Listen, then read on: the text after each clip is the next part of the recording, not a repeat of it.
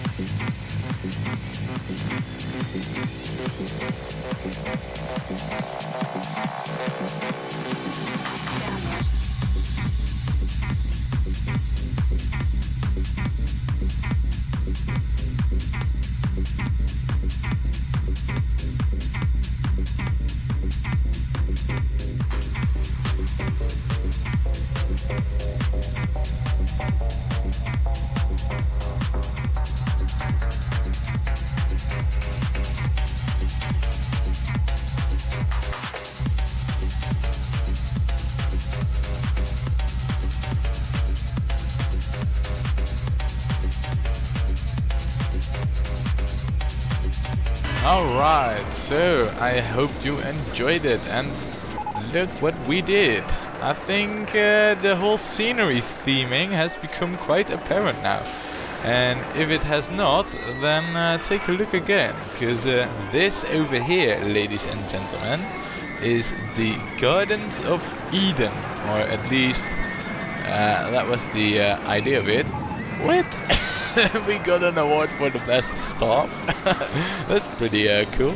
Anyway, um, this is uh, the epic Gardens of Eden, where death and destruction and graveyards are on the outside. Um, look, graveyards. Look, graveyards. And inside, there's trees, flowers, happy colors. And on the outside, there's black, death, plague. Oh wait, they're the same. no, but uh, you know, grim and grey colors and stuff. And uh, on the inside, things are bustling and theming with life. Although I must say that all the good stuff lies in the well, dead zone. I think we should could call it that. But uh, yeah, and um, that's another thing we did. Uh, two coasters.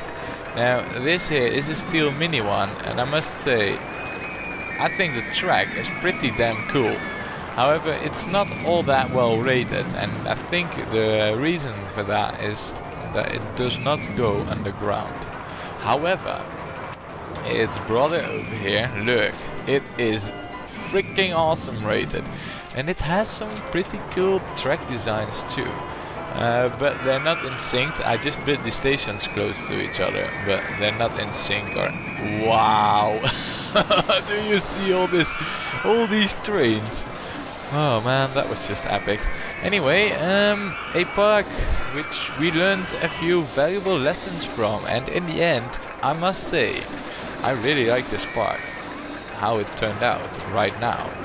Oh, and you know what? I see that I forgot a really important thing fountains. Yeah. So um, let's take a look at the park from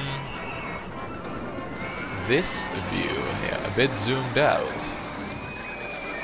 And if we zoom out even further, yeah, look at it man. Now this whole scenery, Garden of Eden thingy becomes really apparent. Look at all these grim and grey coasters. Look at the lovely inside over here. Yeah. So um, that's it. Three Monkeys Park. Totally finished and totally done. So uh, join me next time when we will do the next park.